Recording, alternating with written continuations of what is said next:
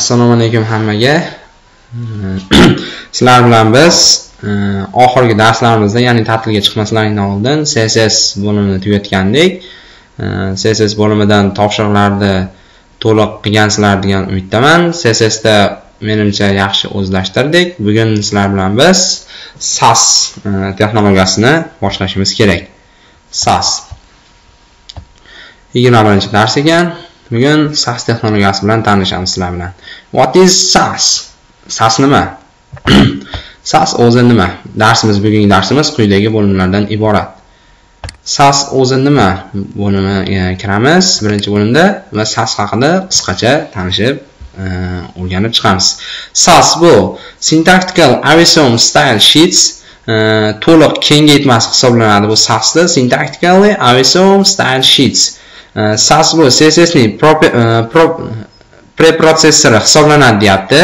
SAS bu CSSning preprotsessori hisoblanadi deyapti. SASda katta va kichik loyihalarimizni unumdorligi oshadi va qo'l mehnati kamayadi deyapti.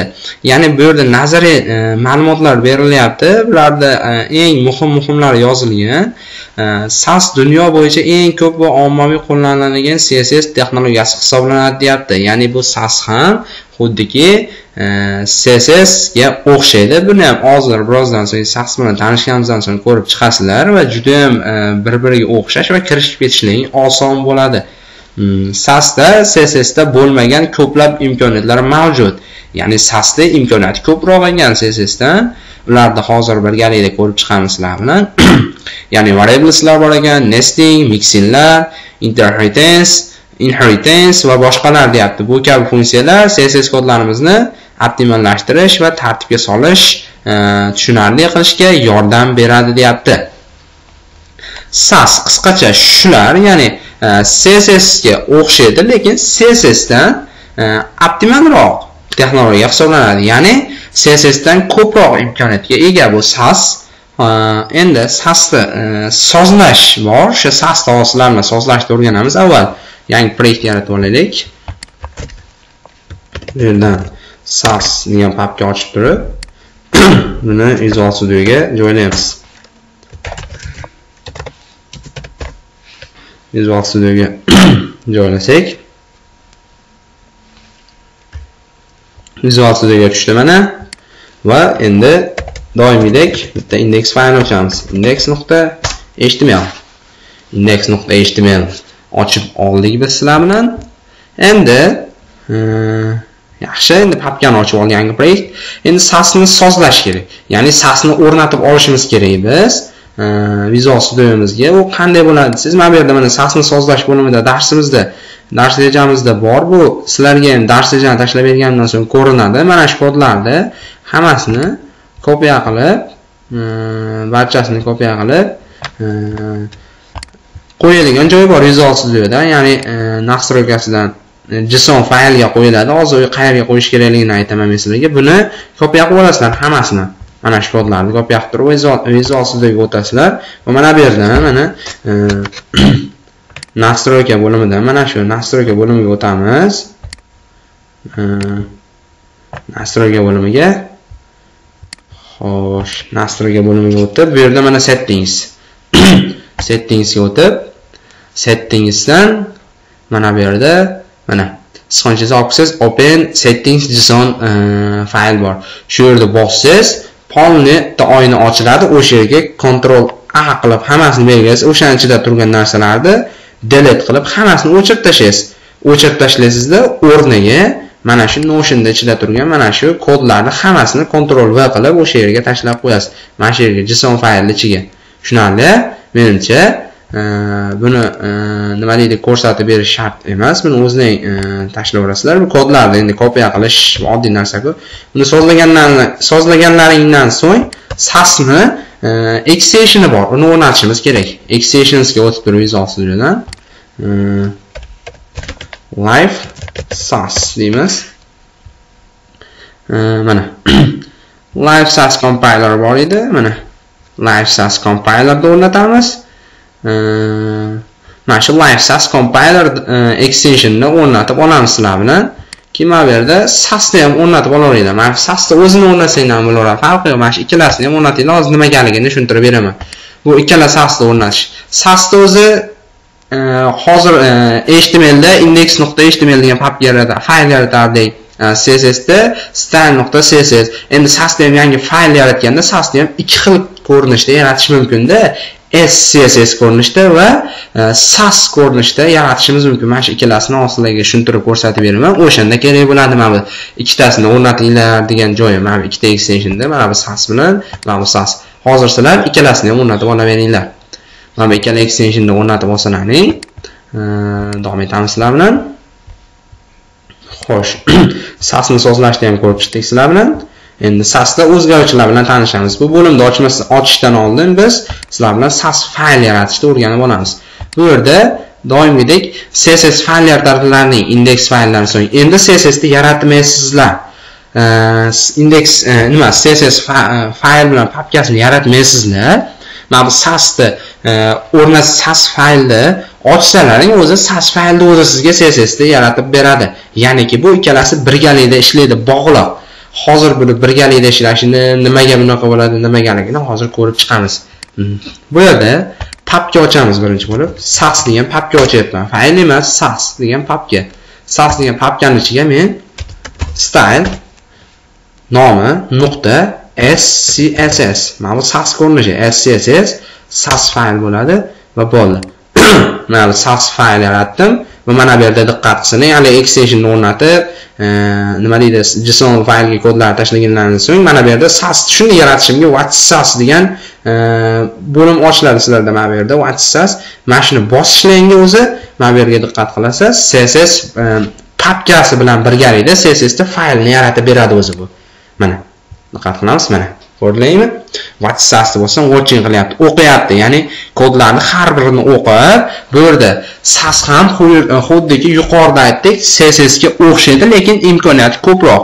Biz kodlarimizni sasda yozib boramiz css ga avtomatik o'zi o'tkazib ketadi kodlaringizni. Ya'niki mana css ichida style.css va style.css map degan papkalarda e, fayllarni yaratib ketgan. Ya'ni bu sasga bog'liqlikda ishlaydi bu birgalikda. Ya'ni hmm, nima deydi? Bu yerda index faylingizga css faylni ulardingizku doim xuddi o'shandek css faylda ulaysiz mana bu sasga yozgan kodlaringiz css ga o'tib ketaveradi avtomatik bu narsani hozir biz kod yozib ko'rib tushunib chiqamiz bir boshdan mana aytaylik htmlda shablonni tashlab olaylik va mana bu yerga linkni ulaymiz va nuqta slash css faylni ulaysiz linkini doimo.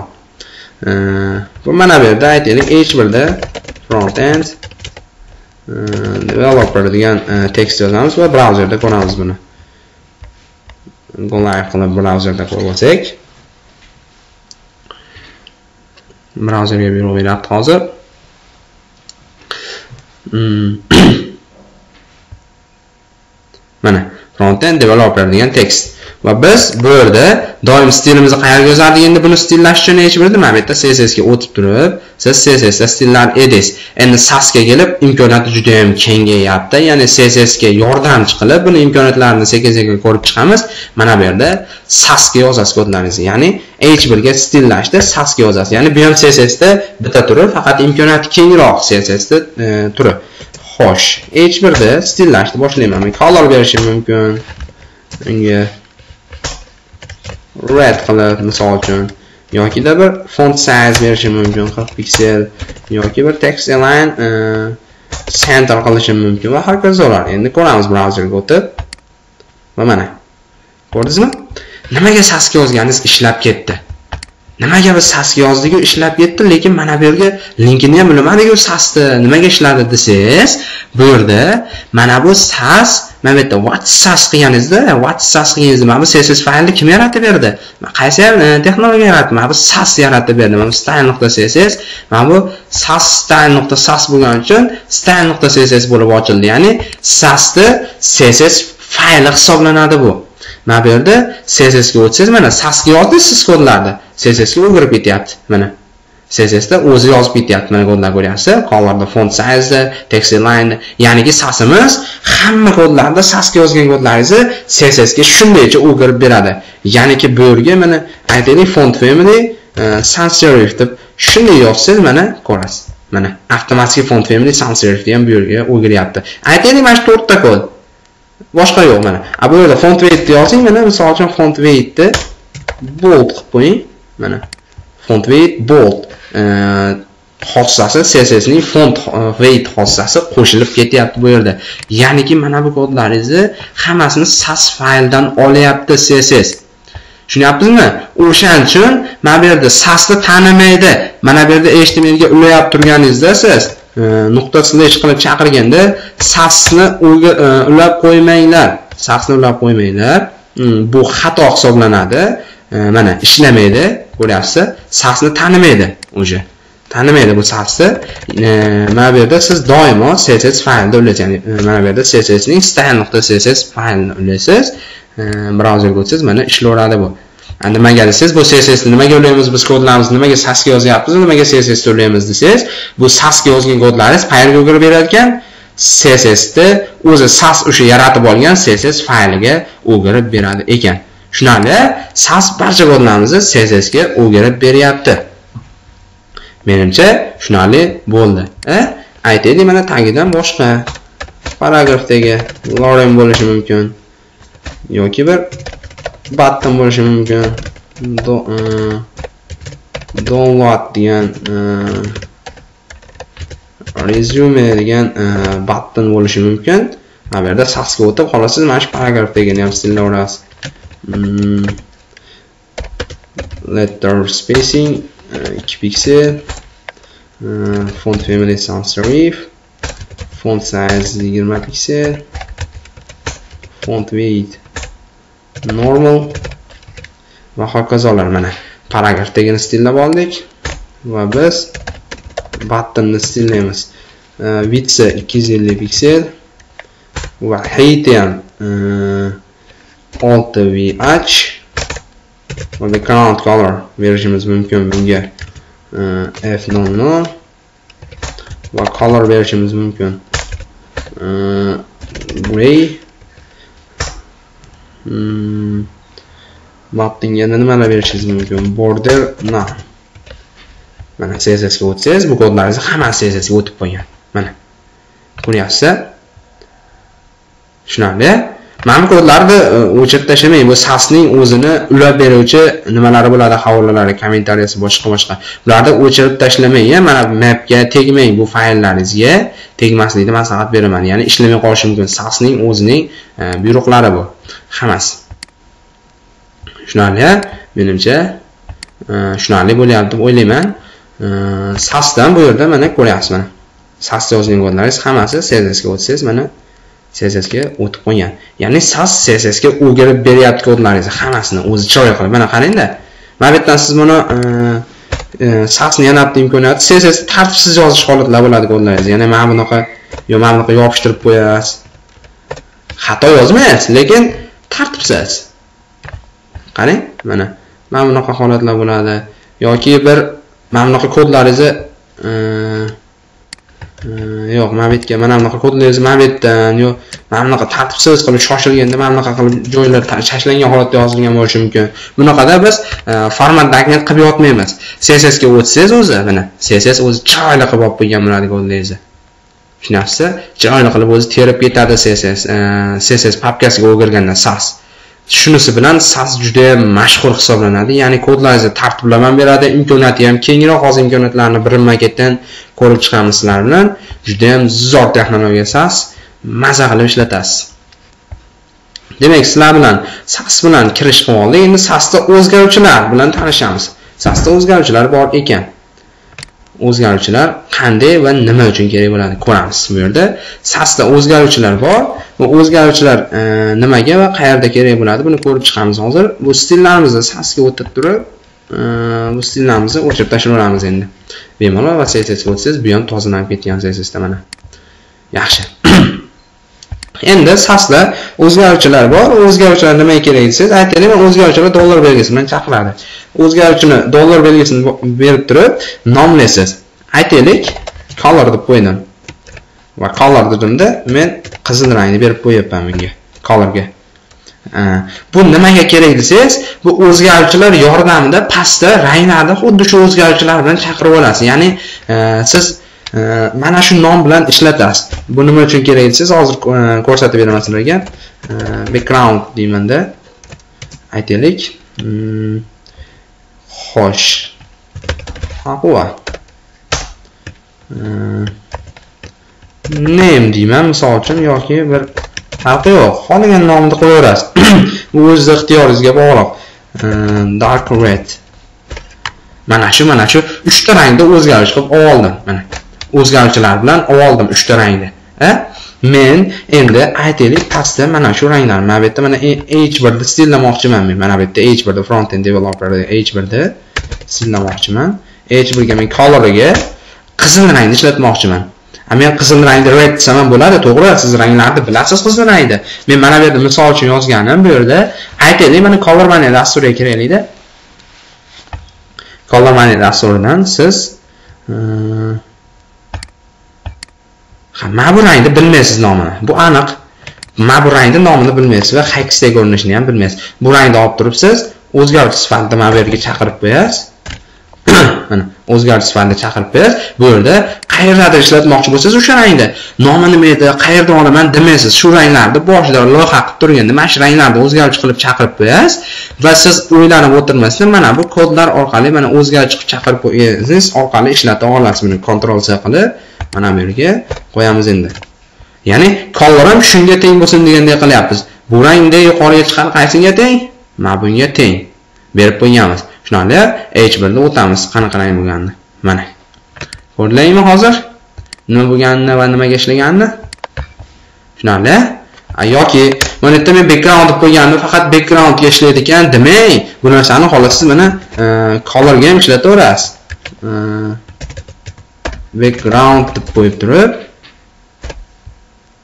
mana bir reshetka yopib ketibdi. Background deb qo'yib turib siz colorga ham ishlataverasiz xohlasangiz mana buni kommentariyga olib turib colorga ham ishlataverasiz bu background degan rangimni mana ishlaveradi. Faqat men nom qo'yib qo'ydim xolos buni background deb. Bu o'zingizni xohishingizga bog'liq xohlagan nom bilan nomlayverasiz buni. Tushunarli bu o'zgaruvchilar qanday e'lon qilinishi va qayerda kerak bo'lsa bu o'zgaruvchilarni aytdim vazifasini agar siz bironta loyiha qilib turganingizda sizga kerak bo'ladigan loyihani ichidagi ranglarni barcha ranglarni sasda e, loyihalaringizni sasda yozib turganingizda kodlaringizni sasda yozib turganingizda o'sha loyihalaringizga kerak bo'ladigan barcha ranglarni nomini bilmas bilmaysiz o'sha ranglarni ba'zilarini bilasiz ba'zilarini bilmaysiz. Bilmaydigan ranglaringizni tepada o'zgaruvchilar orqali chaqirib qo'yasiz va pastda loyihalaringizni o'sha stillab turganingizda ishlab turganingizda o'sha o'zgaruvchini nomi bilan chaqirib ishlataverasiz bemalol ranglaringizni. Bu sizga ancha imkoniyatni ancha qulaylikni tug'diradi. Bu sizga ancha e, sharoit yaratib beradi loyiha qilib turganingizda sostav o'zgarishlarni ham menimcha shunday. Mana misol uchun ham qilib berilgan mana headerda stillayapti background color ya'ni orqa fon beryapti orqa fonga dollar belgisi bilan gray color chaqiryapti bu yerda gray colorga qarasak gray color mana bu yerda kulrang kulrang rang bo'lyapti. Mana bunaqa rang bo'lyapti. Va colorimiz mana bu yerda e, color rang beryapti. Header ichidagi colorga white color beryapti. White color degan o'zgaruvchi bu yerda mana oq rangni tashkil qilyapti. Va hokazo red color chaqirsa qizil rang ishlaydigan yellow color deb chaqirsa dollarda yellow blue color bo'lsa blue color bo'lsa blue ya'ni ko'k rang ishlaydi ekan. Tushunarli mana shunaqa qilib o'zgaruvchilarni yaratib olamiz. Sasda menimcha tushunarli bo'lyapti hammaga. Xo'sh menimcha oson juda ham oson sas unaqangi qiyin narsa emas. Cssdagi o'sha o'sha narsalar. Faqat ba'zi u yangilik narsalar kiritilgan o'shalarni ko'rib ketyapmiz. Endi sasda nestingni o'rganamiz. Sasda e, nesting qoidasi bor. Nesting qoidasi qanday desangiz bu nesting qoidasini hozir men sizlarga tushuntirib beraman. Mana bu yerda rasm ko'rinishini ham ochganman. Bu sasda va bu cssda ko'rinishi. Nesting qanday desangiz bu nesting sizga ancha imkoniyat yaratib beradi. Ya'ni e, safda yozgan loyihalaringizni ancha e, sifatini ham oshiradi ancha kodlaringizni tartiblab e, kodlarni qator sonidan ham yutasiz misol uchun oldin css yigirma qatorda chiqarib turgan bo'lsangiz e, ba'da endi sasda yozsangiz sasdagi imkoniyatlardan foydalanib yozsangiz o'shani o'n qatorda chiqarishingiz mumkin o'n besh qatorda chiqarishingiz mumkin o'sha loyihani. Bu sasdan qay darajada foydalanishingizga bog'liq. Endi aytaylik mana bu yerda e, stillashni boshlaymiz biz. Bu yerda o'zgarishlarni tushunib oldik menimcha. E, endi bularni kommentariyaga olib turaveramiz. Yo'q turaversin ham bular ham. Xo'sh. E, bizda cssdagi yulduzcha belgisi umumiy guruhlash umumiy umumiy selektor bor edi. Universal selektor bor edi. Mana shu yulduzcha belgisi orqali berilardi. Universal selektorda stillashni boshlaymiz. Margin 0 padding 0 box sizing plus box sizing border box. Bo'ladi. Bu ishlayveradi cssdagi aytdikku sas cssga o'xshaydi bir xil faqat. Birgalikda deyishadi qanaqa ishlashini ko'rdik endi boshlaymiz. Nesting qoidasini ko'rsatib ketaman. Biz aytaylik bizda hozir konteyner ochganimiz yo'q bodyni istaymiz bodyni vitsini berishingiz mumkin foizda minimal height yuz vh va background color berishingiz mumkin background colorga kelinglar mana bu yerda o'zgaruvchilar bilan chaqiramiz. Э, dollar belgisi orqali color deb qo'yamiz mana bu yerda mana color rang mana bu rang bilan chaqirdim. Va endi qarang mana bu siz h1 da stillashingiz kerak. Css da nima qilardik? Mana bu yerda body tagidan h1 da mana bu ko'rinishda ochardik misol uchun color berib red font size berib e, siz yigirma piksel qilib stillab ketaverardiz shaxsda bunday emas nesting qoidasi asosida yoziladi kodlaringiz. Qanday bu nesting qoidasi siz? Hozir mana bu h1 qayerda turibdi?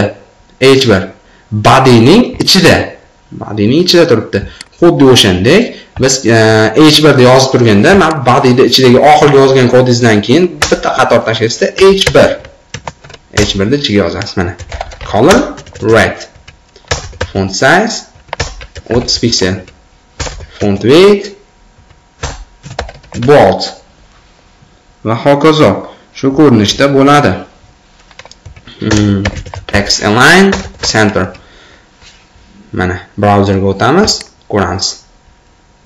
Mana bodyni ham stillegan mana bu yerda h1 ni ham stillayapti ha endi h1 dan keyin mana bu yerda h1 da tagidan paragraf degan turibdi loremlar battalar turibdi ularni qanday stillayman desangiz nesting qoidasi asosiga h1 dan keyingi mana bodyni ichidayu h1 da ichida emas bitta pastga tashlab e, paragrafdagini yozib ketaverasiz. E, Color berasiz. E, Colorga bunikini yellow qilaylik misol uchun. Text align center font weight font weight normal. Text transform uppercase qo'yveramiz mana ko'rdik mana bu ko'rinishda bo'lyapti nesting qoidasini tushunyapmizmi css ga o'tsangiz css da ajoyib qilib beradi hozir css ga o'tkazaylikda mana nesting qoidasida yozgan kodlaringiz mana ko'ryapsizmi umumiy universal selector va body stillanyapti keyin bodyda ichidagi h1 deb beryapti mana sasdan css ga o'girganda ko'ryapsizmi qanday tartibda yozyapti judayam chiroyli qilib super bodyni ichidagi h1 bodyni ichidagi p. Siz qanaqa yozganingiz sasda? Bodyni ichida h1 bor uni tagida paragraf. Xullas sasda e, mana bu yerda kodlaringiz bemalol e, nesting qoidasiz yozib ketaverasiz mana bu yerda css ga juda ham chiroyli qilib o'girib beradi sizni kodlaringizni. Mana buni tagidan button xohlasangiz mana paragraf tagini ichida ham yana bitta nima ochaverasiz mana. Paragraf tagini ichida e, h2 da front front end demaylik kelinglar. Backend developer degan tekst bor. Mana backend developer degan paragraf degan ichida h2 ni ochib oldik. Paragraf degan ichida bu. Endi kelinglar p ni ichidagini qanday e, tavsiflaymiz oxirgi kodidan bitta pastga tushib ichida paragrafda ichida yozyapman. Nesting qoidasi asosida. H2 ga color beraman. O'zgaruvchilar orqali chaqirib olaylik. Kelinglar background degan o'zgaruvchimiz bormidi? Background degan o'zgaruvchimiz orqali chaqiramiz. Va text transform uh, eh, uppercase. Uh, what? Text inline center. Font weight bold. Va font family sans serif qo'yamiz va h ga endi ko'ramiz kelinglar ishlayaptimi yo'qmi? Eh, yo'q hozir ishlamadi bu. Qayerdadir xatolik bo'ldi shekilli menimcha.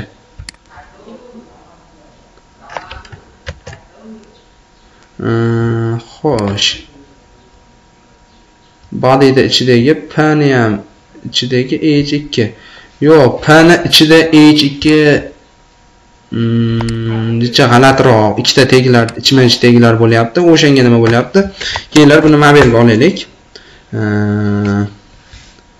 Bularni hammasini blokka olib ko'rsataylik. Nuqta konteyner ochib turib konteynerni ichida bu e, buni ichida e, yo'q kelinglar. Header bor headerni ichida bu mm, mainni ichida e, mainni ichida h2 bor backend developer degan. Va mana bitta konteyner bor konteyner ichida header bor header ichida h1 paragrafdagi button bor. Main bor keyin header tagidan main ichida h2 bor. Va buni brauzerda ko'ramiz. Mana bu tartibda bo'lyapti. Va e, bu yerda stillashni ko'ramiz. Mana. Bilamiz ichma ich yozish qoidasi asosida endi hozir kelinglar to'g'irlab olamiz bularimizni bular o'chib turamiz. E, Body emas background color. E, color deb turamiz width 100% va minimal height 100 vh a yo'q. Mana bu yerda rangda xatolik biz dollar belgisi chaqirishimiz kerak edi. Va endi body ichida container bor. 100% e, minimal height 100 vh xo'sh endi body shart ekan bizga uzr do'stlar. Mana bu yerda konteynerdan boshlab stillab ketaveraylik biz bodyda endi konteyner yo'qligi uchun e, yozib ketgandik. 100% minimal height 100 vh background color. Dollar belgisi orqali color deb chaqiramiz. Mm, va konteynerda ichida header bor. Headerda ichida h1 bor. Va colorda Siz f00 deb turib olishingiz mumkin. F00 э, yoki text align э, align center font weight bold font family sans serif va headerda tagidan main bor. Main ichida h2 bor. Uni colori э, gray deyishingiz mumkin. Font family sans serif deb qo'yishingiz mumkin. Va hokazolar. Mana. Ko'ryapsiz? Va hokazo. Buni har qanday stilda olasiz mana shu nesting usuli deyadi e, deb ataladi mana. Konteynerni ichidagi headerda ham ichidagi h1 konteynerni ichidagi mainda ham ichidagi h2 va hokazo. Ya'ni css ga o'girib ketganda juda ham tartibli qilib chiroyli qilib o'girib ketadi. Mana shu nesting usuli deyiladi. Mana rasmga ham diqqat qilinglarda. Mana bu yerda e, cssda parent degan klassni ichida blok quito bor ekan. Blok quito vergul va birgalikda bu guruhlash parent ichidagi blok quito va parent ichidagi p e, tagiga font familiyasi times ekan. Bu yerda mana parent ichidagi e, skopkani qarasizlar blok quito va p ga font family times bo'lyapti. Ikkoviga ham tegishli bo'lyapti bu yerda. Nestingda mana bu ko'rinishda ya'ni ichma blok quito va p tagidan a ketyapti va span ketyapti bu yerda. Stillab ketyapti mana css ga o'tganda juda ham chiroyli qilib tartiblab ketyapti. Mana shu nesting e, qoidasi deyiladi.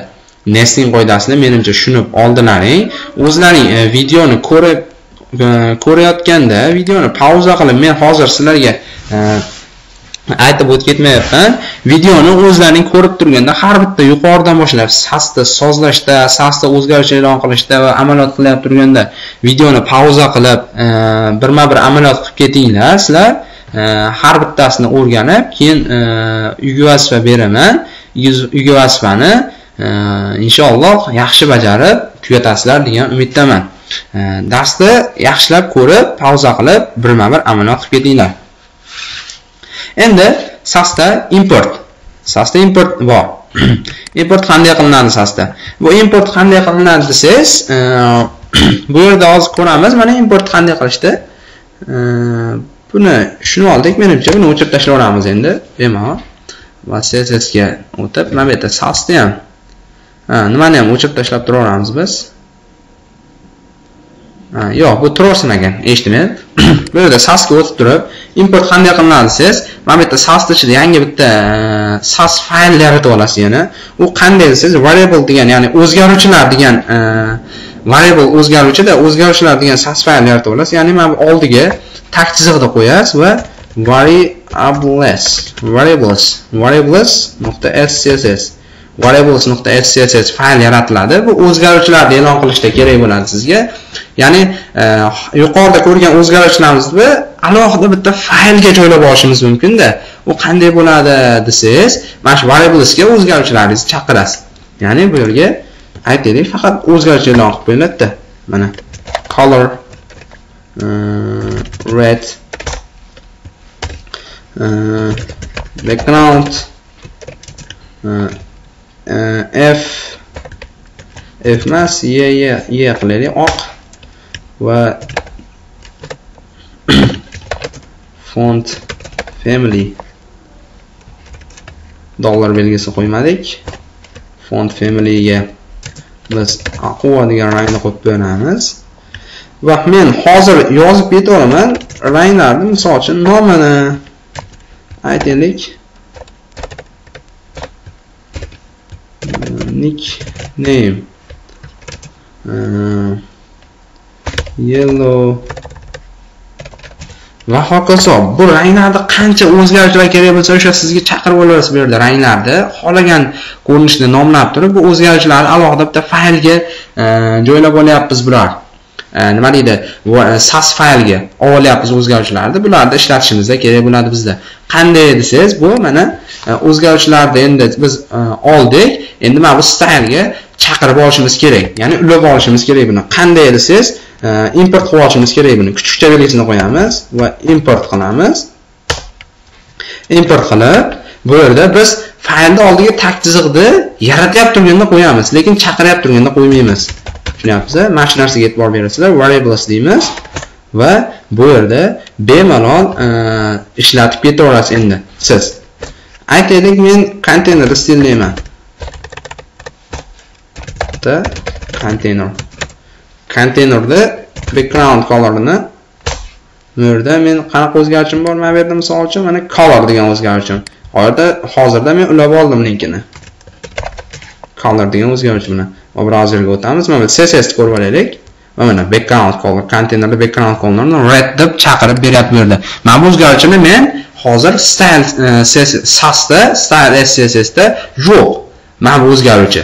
Lekin mana bu yerda variablesda bor. Buni men mana bu import qilib ulab olyapman. Va brauzerga o'tsangiz mana bu yerda mana konteyneringizga qizil rangga bo'yab beryapti.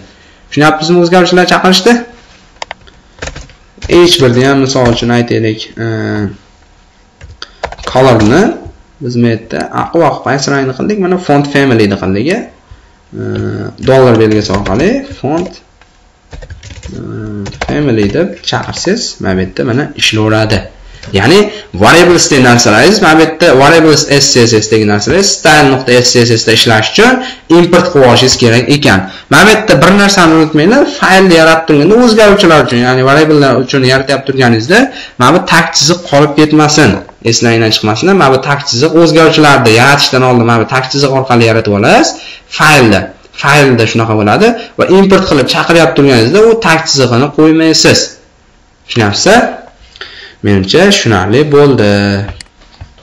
Mana bu yerda misol orqali ham ko'rsatilgan rasmda mana import qilib olinyapti variablesdan variablesda mana color red deb chaqirilgan dollar belgisi orqali va variablesda turib bodyga color red e, qizil rangda chaqirib olyapti bu yerda color deb turib.